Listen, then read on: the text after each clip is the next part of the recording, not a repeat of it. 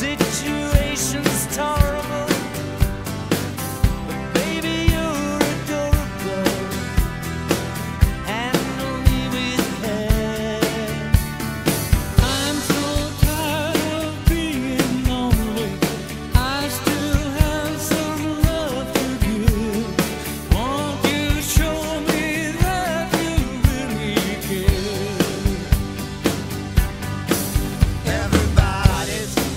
got somebody to lean on.